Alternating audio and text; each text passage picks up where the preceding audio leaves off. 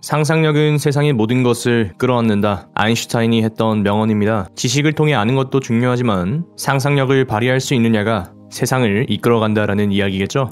포항 아이파크를 바라볼 때는 그런 상상이 필요한 것 같습니다. 포항시 남구 5천업 용산리 많은 분들이 기다리고 계셨을 포항 아이파크 여러분의 내집 마련 도우미 대우경북 아파트와 함께 살펴보시겠습니다.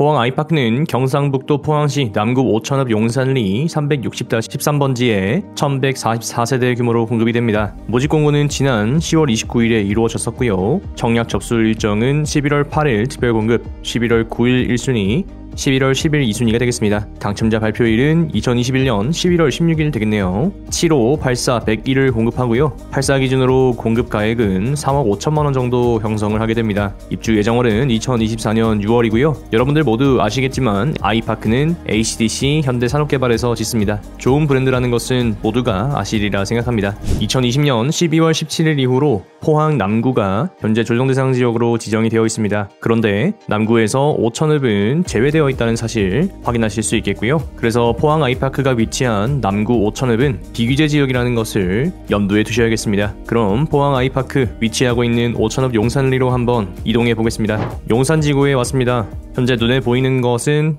냉천과 남포항 IC 그리고 큰 산업단지가 되겠죠. 일대에 아파트는 그렇게 많지 않은 것을 확인하실 수가 있겠습니다. 포항에서도 상당히 남쪽에 위치하는 것을 확인하실 수가 있습니다. 포스코보다도 더 아래에 있고요. 포항아시나 포항역이 위치한 곳과는 완전히 다르다. 여러분들 잘 아시는 죽도시장 인근과도 충분히 거리가 있다는 것을 확인하실 수가 있겠습니다. 그러니까 이렇게 갈라놓고 생각하는 것이 맞겠죠. 위와 아래. 조금 더 세부적으로 살펴보자면 구정리, 원리, 용덕리, 문덕리, 용산리 이렇게 나누어 볼 수 있을 겁니다. 냉천을 좌우로 해서 강동과 강서로 나뉘어져 있는 모습도 확인하실 수가 있겠죠. 전체적인 느낌으로 봤을 때 여기에서 채워야 할 곳은 문덕과 용산이 되겠다. 생각해 보실 수가 있을 겁니다. 인근에 포항공항이 있다는 거 이동하기에 좋은 요소가 될 수 있겠죠. 포항 3 산업단지에서는 굉장히 가까운 위치가 되겠고요. 나와서 신호등 한 번만 받으면 바로 포항 아이파크 도착할 수 있습니다. 포스코에서는 대략 15분 정도 소요가 되는 것을 확인할 수가 있었습니다. 오천읍 안에서도 원동 라인과는 좀 구분이 된다라고 생각을 해야 될 것 같습니다. 얼마 전 힐스테이트 포항이 성공적으로 분양을 마쳤죠. 현재 프리미엄이 형성되고 있는 것을 확인할 수가 있었습니다. 용산지구와 원문덕지구로 나뉘어서 생각을 좀 해봐야 할 것 같습니다. 용산지구의 개발 계획이고요. 여기가 현재 보고 계시는 포항 아이파크 1차고요. 그 아래로 아이파크 2차 그리고 태왕 아너스 들어오는 것도 확인을 할 수가 있습니다. 원문덕 지구도 이렇게 꽤 큰 규모로 개발을 한다라는 거 확인하실 수가 있겠고요. 세대수로 놓고 보자면 포항 아이파크 1144세대, 포항 아이파크 2차 1475세대, 남포항 태왕 아너스가 343세대, 신문덕 코어르가 745세대, 천마타운 1차 구축이지만 541세대 이렇게 형성이 될 겁니다. 영상 초반에 상상력을 발휘해야 한다라고 말씀을 드렸죠. 사람이 모여 살고 브랜드타운이 되고 인프라가 다 들어서기까지는 시간이 좀 걸릴 것으로 생각이 됩니다. 그러니 원동까지도 왔다 갔다 하셔야 되는 불편은 일부 감안을 하셔야 될 것 같습니다. 한편 2024년 3월에 아이파크 1차 북쪽으로 초등학교가 생길 예정입니다. 아이파크 1차와 남포항 태왕 아너스는 초등학교가 인접한 학교가 되겠죠? 포항시 남구의 인구 변화를 한번 살펴보도록 하겠습니다. 포항 남구는 현재 23만 위를 유지하고 있고요. 올해 들어서는 감소폭이 조금 줄어들고 있는 것을 확인할 수가 있습니다. 아무래도 철강 경기와 좀 맞물리고 있다 생각이 들고요. 그 중에서도 눈에 띄는 것은 역시 5천읍의 인구 증감입니다. 다른 곳은 다 빨갛게 유출이 되고 있는 곳이 더 많은데 5천읍은 네 자릿수로 증가하고 있다는 것을 확인하실 수가 있겠고요. 아무래도 산업단지가 가까우면서 아파트 가격이 접근하기 쉬운 곳에 인구가 증가하고 있다는 것을 확인하실 수 수가 있겠습니다. 5천읍의 인구만 따로 떼놓고 생각을 하자면 2017년까지 계속 증가세를 보이다가 2018년 피크를 찍고 19년, 20년 잠깐 내려왔다가 다시 상승하고 있는 모습을 확인하실 수가 있겠죠. 저는 임장을 다녀와서 알게 되었는데요. 여기 아쿠아 춘천 닭갈비가 꽤 맛이 있다고 합니다. 혹시나 임장 가시면은 한번 드셔보시고 맛을 공유해 주시면 다음번에 한번 들러보도록 하겠습니다. 임장 영상 한번 보시면서 포항 아이파크의 청약 자격을 살펴보시겠습니다. 냉천을 따라 쭉 걸어가면 포항 아이파크 부지가 보입니다. 1차, 2차 부지를 모두 합치면 상당히 거대한 규모라는 것을 확인하실 수가 있겠고요. 강세권이니까 강조망이 나오는 동호수가 좋을 것으로 생각이 드시겠죠? 포항 아이파크는 비투기 가열지구 비청약 가열 지역에 공급이 되는 아파트입니다. 따라서 1주택 이상 소유자도 1순위를 부여받습니다. 기존 주택 당첨 여부에 상관없이 청약이 가능하고요. 5년간 투기 가열지구와 청약 가열 지역에는 1순위 제한이 됩니다. 가장 큰 메리트는 전매 제한이 없다는 점이 되겠죠. 예비 당첨자는 40%를 뽑고요. 포항시 및 경상북도 대구광역시 거주하는 만 19세 이상 성년자, 무주택 구성원이 청약 가능합니다. 포항시 거주자가 우선한다는 점은 참고하시기 바라겠습니다. 8호제곱 이하에서는 가점제 40%, 추첨제 60%고요. 8호제곱 초과는 추첨제 100%로 운영이 됩니다. 2021년 1월부터 분양권 소유자도 주택 소유자로 간주합니다. 2021년 6월부터 분양권 양도소득세 1년 이내 70%, 1년 초과는 60%를 적용받는 점도 전매에 있어서 참고하시기 바라겠습니다. 인지세법에 따라서 최초 계약 및 중간 전매도 전자 수입인지를 첨부하여야 합니다. 이 경우에는 15만원 해당되시겠습니다. 현장 영상의 느낌을 보시면 아시겠지만 상당히 조용합니다. 주위의 자연 환경과 어우러져서 실거주하기에는 상당히 좋을 것이다 생각이 들었고요.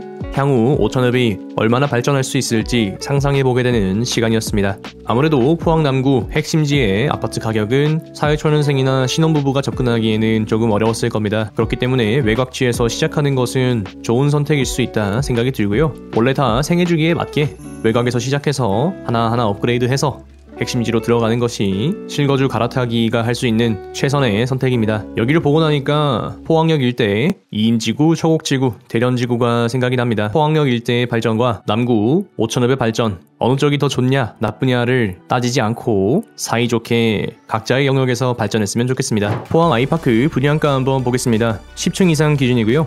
발코니 확장비는 무상, 중도금은 무이자 되겠습니다. 전용 7호 제곱은 3억 1,999만원이고요. 전용 8사는 3억 5,300만원 되겠습니다. 전용 101의 경우에는 4억 6,470만원이고요. 계약금 10%, 중도금 60%, 전액 무이자 대출, 잔금 30%가 되겠습니다. 따라서 7호 당첨 시 계약금 10% 3,199만원, 8사 당첨 시 계약금 10% 3,530만원, 100일 당첨 시 계약금 10% 4,647만원 되겠고요. 계약금 10%가 있으면 미래까지 바라보고 갈 수 있다. 확인하실 수가 있겠습니다.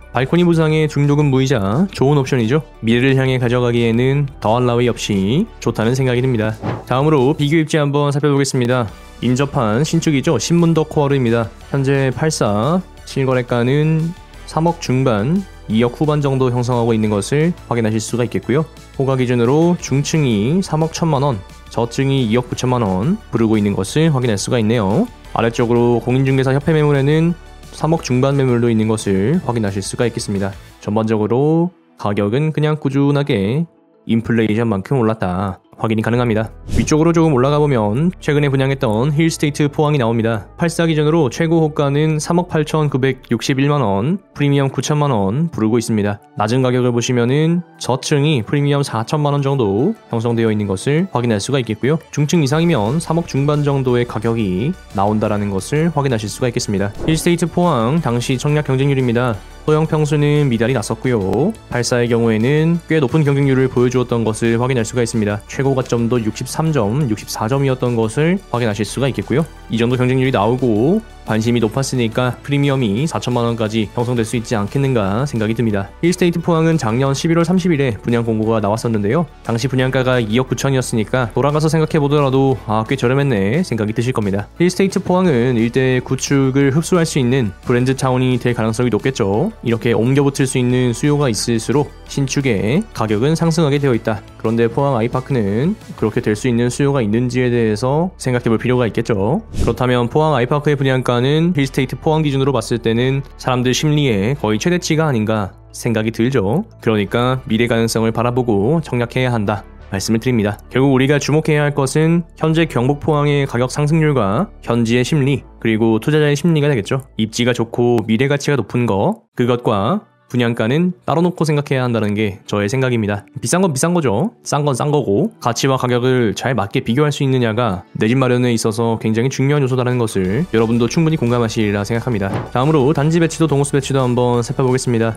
남동과 남서로 배치되어 있는 것을 확인하실 수가 있겠습니다. 거의 뭐 서양에 가까운 남서와 남양에 가까운 남동으로 구성되어 있는 것을 확인하실 수가 있겠죠. 가장 많은 세대수를 차지하고 있는 것은 84A 파란색입니다. 백삼동 요 라인은 조망이 잘 나오겠네요. 이렇게 설거지 조망도 확인이 가능하시겠고요. 대형 평수의 경우에는 냉천, 리버뷰가 나온다는 거 확인이 가능하겠습니다. 아래쪽으로는 포항 2차 아이파크가 예정되어 있죠. 그래서 여기에 단지 배치가 어떻게 되느냐에 따라서 101동, 102동의 조망이 결정될 수 있을 겁니다. 102동 끝라인은 나올 법도 합니다. 의외로 104동 1호가 영구 조망이네요. 107동 1, 2, 3호에서도 설거지 조망이 나옵니다. 마찬가지로 106동 1, 2, 3호에서도 설거지 조망이 나오겠죠. 숨어있는 101동 5, 6호 라인에서는 리버뷰를 확인하실 수가 있겠습니다. 단지 배치도를 봤을 때는 84A와 101이 경쟁력이 좀 있어 보이네요. 동호수 배치도 보시면은 필로티가 있는 호수가 있고요. 최고층은 29층이 되겠습니다. 아이 키우는 집에서는 필로티가 꽤 좋다라는 것은 알고 계시죠? 1층이 아니기 때문에 한층 2층 위에 있어서 사생활은 보호할 수 있고 아이는 뛰어놀아도 되니까 말이죠. 어중간한 3층, 5층 이런 것보다는 필로티가 더 나을 수도 있습니다.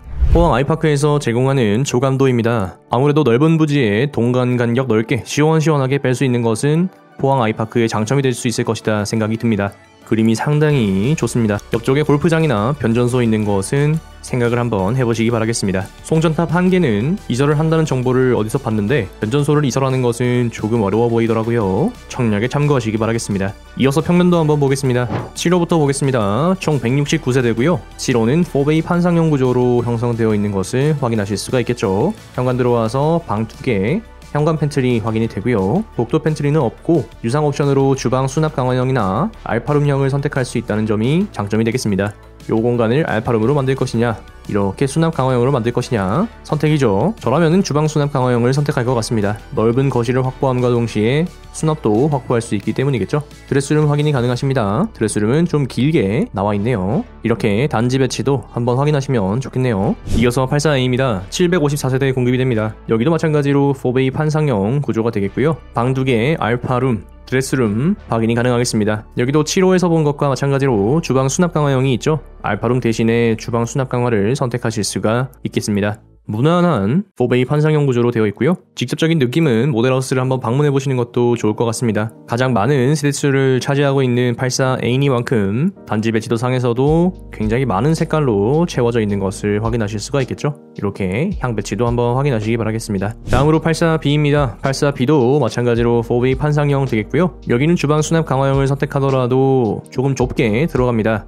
그럴 바에는 alpha room을 선택하는 게 좀 더 나을 수도 있겠네요. dress room도 84A의 것보다는 것보다는 좀 작은 것을 확인하실 수가 있겠고요. 단지 배치도 확인하시면 되겠습니다. 이어서 84C입니다. 4bay 판상형이고요. 아, 84 모두를 4bay 판상형으로 공급을 하려고 노력을 했구나 확인하실 수가 있습니다. 73세대 공급이 됩니다. 84B보다는 복도 pantry가 조금 커진 느낌이긴 한데 역시 그냥 포기하고 alpha room을 가는 게 좀 더 나을지도 모르겠습니다. 84A와 84B, C의 차이가 있다면 alpha room의 크기와 dress room의 크기가 되겠죠? 이 두 개가 어떤 넓이로 구성이 되느냐에 따라서 집에 들어갔을 때 받는 느낌이 차이가 상당히 나게 됩니다. 다 같은 4bay 판상형이라도 다르게 느껴진다라는 거죠. 84C를 선택했을 때 얻을 수 있는 좋은 점은 101동, 102동, 103동의 향이 고정이라는 점이 되겠습니다. 이런 부분도 전략적인 청약을 고려하시는 분들은 계산에 넣으시면 되겠습니다. 마지막으로 101입니다. 대형 평수고요. 총 50세대 공급이 되죠. 현재 alpha room과 pantry로 구성이 되어 있고요. 주방 수납 강화형으로 이렇게 hidden kitchen을 만들어 넣을 수가 있습니다. 뭐 이런 것도 상당히 좋은 것 같네요. 주방을 넓게 하면서 수납도 포기하지 않을 수 있는 구성이니까 101에서는 괜찮은 옵션인 것 같고요. dress room 특화형을 선택할 것인 지 선반이 많은 것을 선택할 것인지는 여러분들의 개인 취향에 맡기도록 하겠습니다. 아무래도 대형 공급은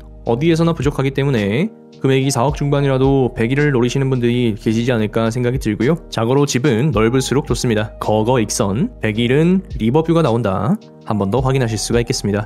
대구 경북 아파트가 바라보는 예상 청약 경쟁률입니다. 101, 84C, 84A, 84B, 7호 순으로 진행될 것 같습니다. 대형 평수는 언제나 공급이 모자랍니다. 아, 청약해보시면 좋을 것 같고요. 84의 경우에는 워낙 많은 비중을 차지하니까 경쟁률이 얼마까지 나올지 기대가 됩니다. 관전 포인트는 힐스테이트 포항에서 밀려나온 수요가 포항 아이파크를 선택할 것인가 되겠습니다. 포항 아이파크 1차의 결과가 아이파크 2차와 태왕 어너스에도 영향을 미칠 것입니다. 주위를 한번 둘러보고 현재를 바라보면 이 가격이 괜찮은가 하는 생각이 듭니다. 가격은 시장성이 있습니다. 시장 가치가 있는 곳에 가격이 형성되기 마련이죠. 그렇다면 시장 가치는 언제 생길까요? 모두가 먹고 살기 편해야 가치가 높아지게 될 겁니다. 그럼 현재 시장성은 이 가격을 반영할 수는 없지만 미래의 시장성은 이 가격을 반영한다라고 봐야겠죠. 산업단지라고 하는 배우 수요가 있고 미래 확장성이 있는 포항 아이파크 그러니까 현재로서는 적은 투자금으로 미래를 바라보고 가져갈 수 있다는 점을 생각해 보게 됩니다. 실거주 입장에서는 용산지구가 산업단지로부터 거리가 조금 있으니까 주거지역으로는 손색이 없다라는 생각이 들었습니다. 강세권이라는 점도 좋게 느껴졌고요. 제가 임장 갔던 날이 굉장히 가을 날씨여서 진짜 기가 막혔습니다. 그림 같죠?